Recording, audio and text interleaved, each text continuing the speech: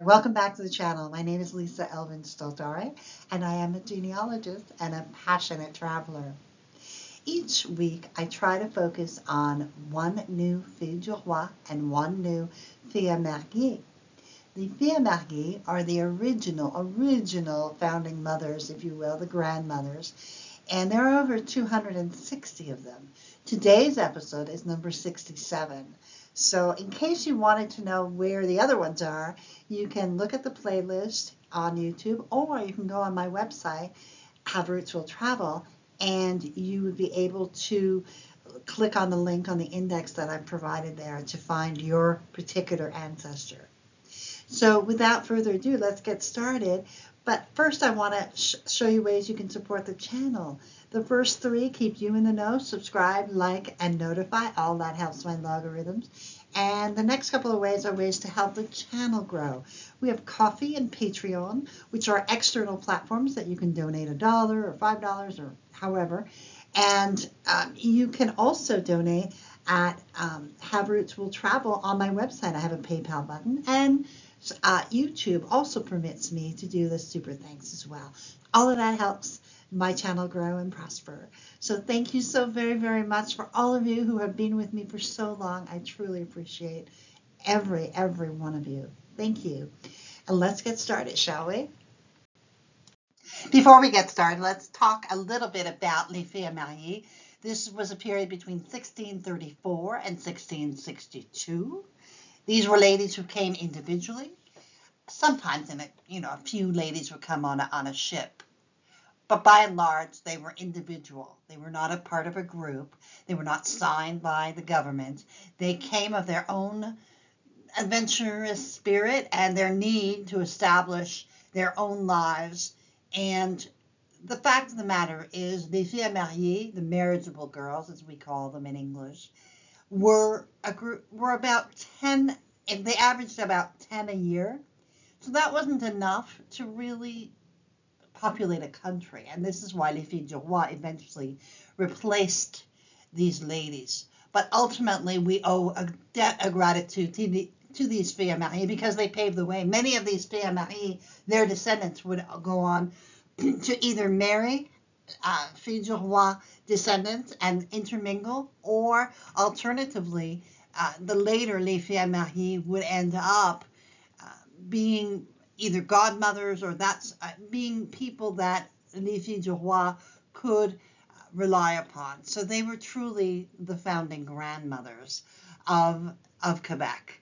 And du roi founding mothers, we can't take that away from them. But these women were brave. Remember that in 1634, Trois-Rivières had just been has just been inaugurated. Montreal wasn't even a city yet.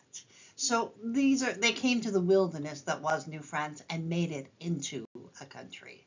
So let's get started and find out who our family is of this episode. Today we're doing the family episode 67, and her name is Jacqueline Lagrange. And she comes to us from a viewer request, and I do not have her in any of my files. So let's get to know Jacqueline a little bit better. Jacqueline was born in 1640 in Boulogne-sur-Mer, in France, obviously. Her parents were Jean Lagrange and Marguerite Bourret.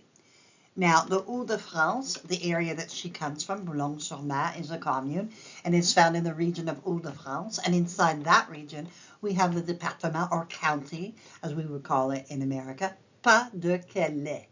Now, the Saint Nicolas Church is emanates that you see on the top right is a 12th century church. So it was definitely the church that she would have been baptized in. Julius Caesar is said to have founded this place in 55 AD. I mean, can you imagine? In the Middle Ages, Boulogne held the prestigious position of being the capital of its own country, a title bestowed upon it in the mid 9th century. The city played a pivotal role during Norman conquest of England with Count Eustache II, assisting William the Conqueror in his historic campaign. Boulogne's historical tapestry is woven with threads of significance. It was here that the city's Notre Dame Cathedral was founded by the Count's wife, becoming a revered pilgrimage site from its inception in the 12th century onward. 14 French kings and five English monarchs graced the halls of this amazing church. Before the 12th century, Boulogne thrived as a vital whaling center, and its fortunes were very much tied to the sea. The city's survival rested on the shoulders of fishing, and by 1203, Count Lanou granted Boulogne its municipal charter and cemented its status as a thriving community. However, Boulogne's history was not without some strife. The area witnessed fierce battles between the French and the English, their, their conflict echoing throughout the ages. During the Hundred Years' War, English occupations left their mark on this city. In 1492, Henry VII laid siege to Boulogne, a confrontation ultimately resolved by the Peace of Etaples. Yet the city's faith remained intertwined with England as it was once again occupied by English forces from 1544 to 1550. The turning point came in 1550 with the Peace of Boulogne, which marked the end of hostilities between France, England, and Scotland. France reclaimed Boulogne, paying a hefty sum of 400,000 crowns. Despite its incredible past, the city persevered, even as a culture uh, of smuggling lingered until 1659. The Treaty of the Pyrenees shifted the borders, altering the city's destiny as it moved northward within French, French territory. Boulogne's rich heritage continues to resonate, a testament to its enduring significance in European history. Now, I give you all of that detail because I wanted you to know where Jacqueline came from.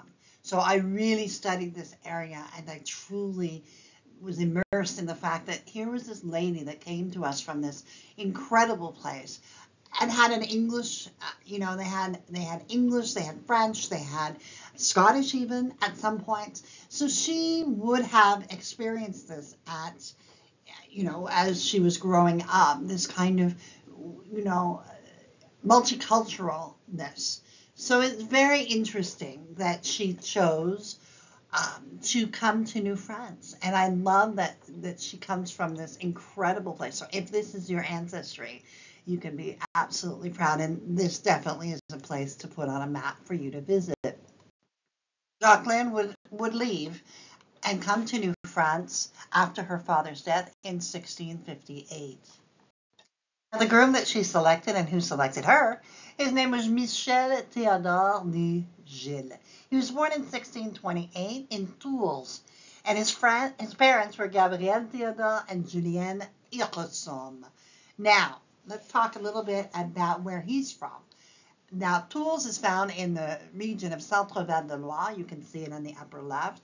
And inside of that, it's part of the Indre-et-Loire uh, department. It's the commune of Tours has about 136,000 inhabitants, while the population of the whole area is about a half a million. Tours became a part of the Roman Empire during the first century AD. By the fourth century, it was renamed Tours, and its famous amphitheater was built. And what we now know is that this was an incredible uh, church, Notre Dame, um, the Notre Dame Church, that basically was destroyed, uh, and and it was sold and then destroyed uh, in 1792 by a small uh, thing called the French Revolution. This is a picture of Tours as it existed, as it exists today um, just the upper right, you can see like it's got that medieval look to it, you know. And we absolutely know that Tours is an important part of the history of France. So it's kind of interesting that both Michel and Jacqueline come from these very, very prominent places. So I just think that that's fascinating to kind of they they kind of merge their their histories, if you will. So let's find out how Michel arrived in New France. Now, Michel has the honor of being part of La Grande Recrue de 1653, the Great Recruitment of 1653. This is, these are the 100 people or so that came to Montreal at the bequest of Maisonneuve because he knew Montreal was dying and it needed a, you know, a influx of people to sustain it and protect it. And these people were paid money to be able to come to Montreal. So he li- literally, the Maisonneuve actually went on a recruiting. And he recruited a wonderful lady named Marguerite Bourgeoys, who we will talk about in a minute. But um, Michel was part of that recruitment. So he would come in 1653. He was actually a master mason, a paver, and a laborer. He would receive 115 pounds in advance upon signing his contract. In 1659, he would obtain his own land from Maisonneuve. So it was very, if you could survive, it was very advantageous. And so Michel and Jacqueline were married September 16, 1658. This is a copy of their marriage record, and I want you to see the very prominent Paul de yes, who signed the, who was a witness to their wedding. So let's talk about Montreal, the wonderful city that would become Montréal, as we say in French. Started off as Ville-Marie by the founder, Paul de Chomedey, Sieur de Maisonneuve, and was essentially a missionary center that was founded in May of 1642. The colony would not thrive, and it was on the verge of extinction when Chomedey decided to return to France to recruit those 100 settlers, of which Michel was a part. From this small group would evolve the Notre Dame Congregation, from the Sister Marguerite Bourgeoys, who was on that boat. When Montreal was founded, the new colonists were rapidly confronted by a fearsome enemy, the Iroquois. Unfortunately, there was still no regular army on Montreal soil until 1665, when the Carignan regiment landed there. In militias capable of resisting Iroquois attacks were set up.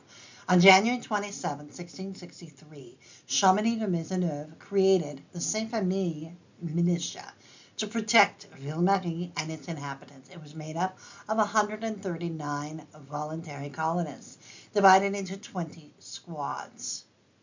So this is kind of, you can see that an island city that was Montreal was a, you know, was a kind of a fool's goal because Montreal was viewed as kind of, you know, a place where no one would go and Quebec City and Trois-Rivières kind of looked at it and laughed. Well, ultimately, there they would it would become this amazing place because of the fact that it is an island and so um, part of that shipping and, and part of the international scene.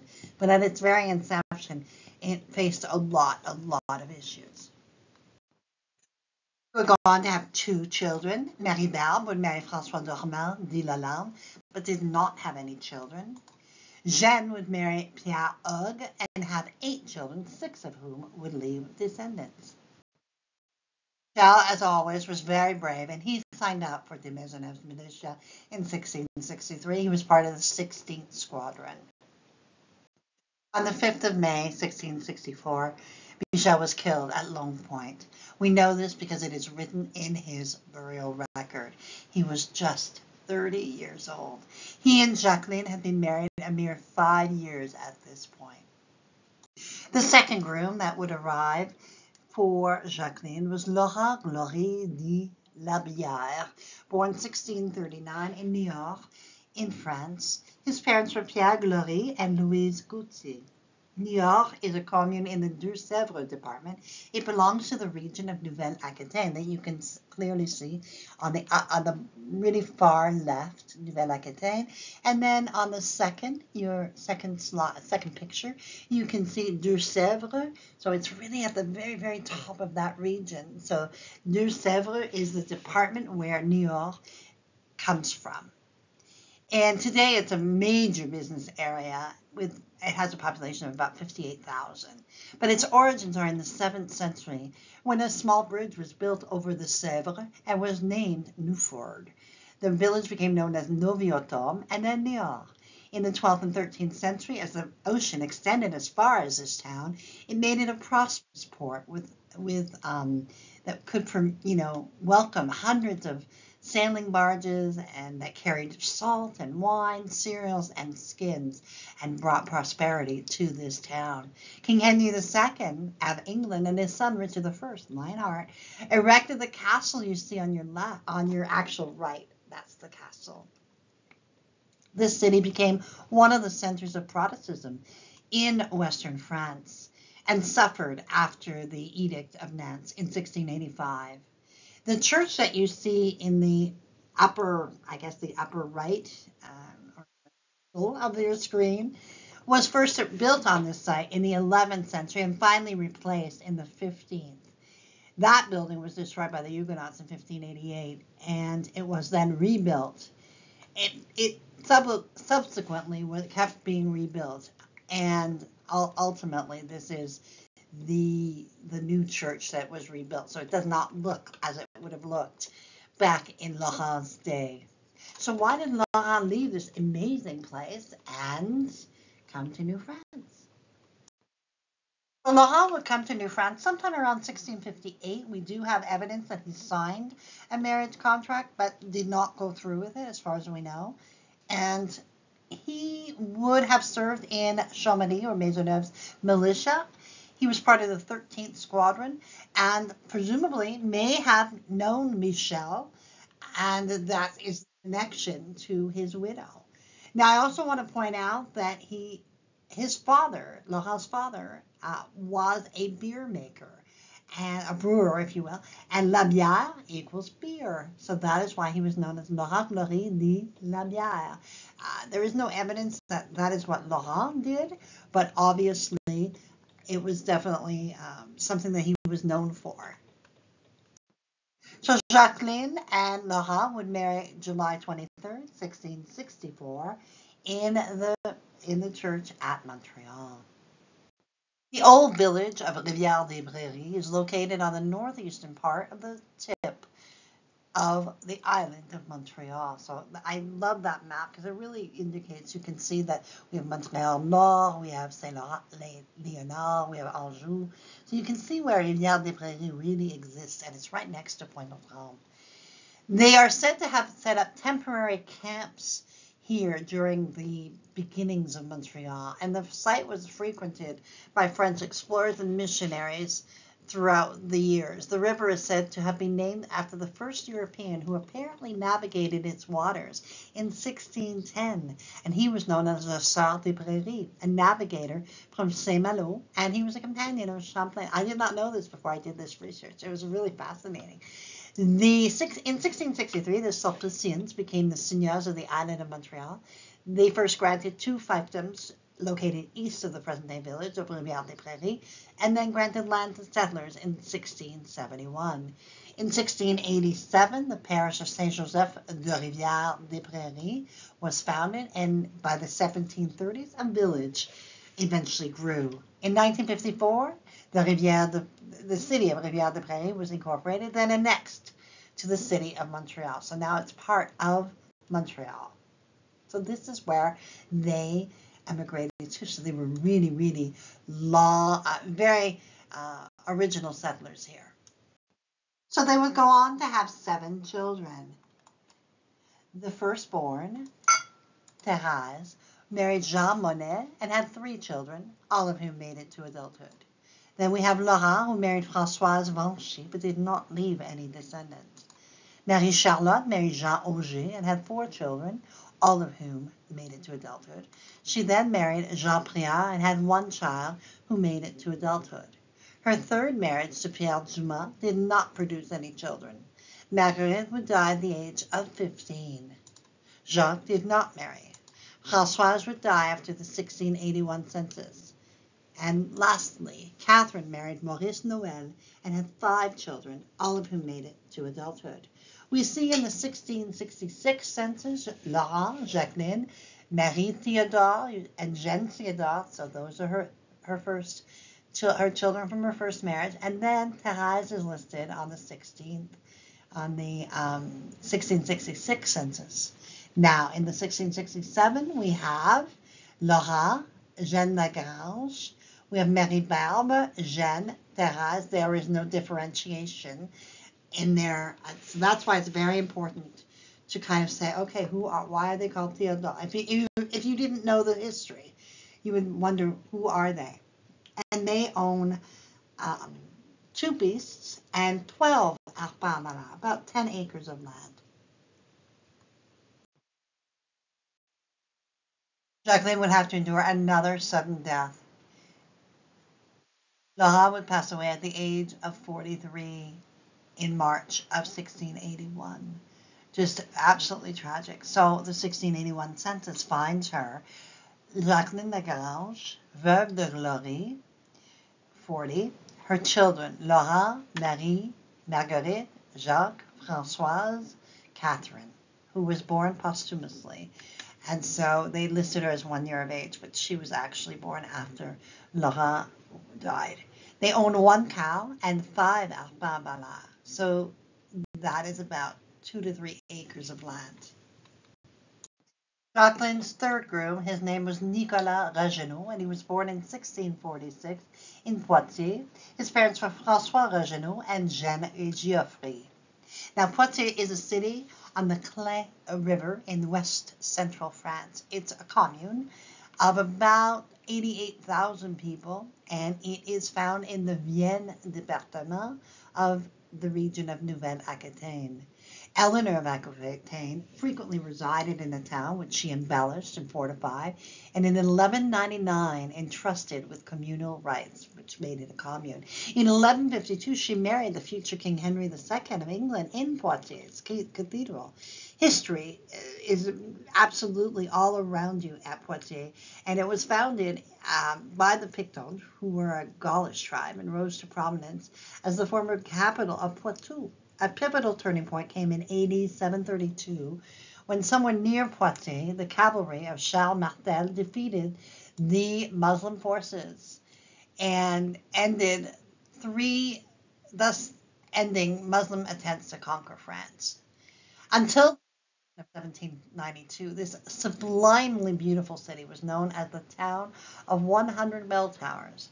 The remarkable churches that remain today are in part a legacy of Eleanor's Aquitaine's financial support.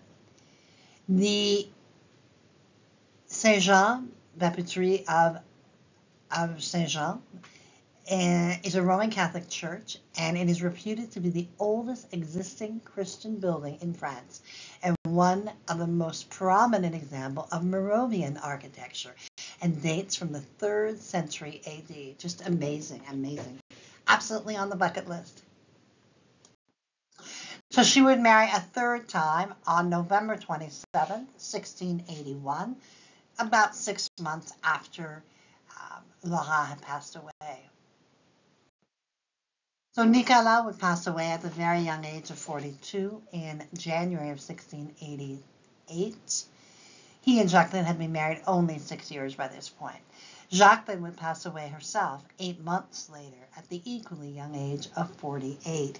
Now, think about it. She had at least three children who were minors at this point. I do not know what happened to the younger children. I would assume her three oldest um, children would have taken them in and they would have raised their younger their younger siblings. That is what I would think would have happened.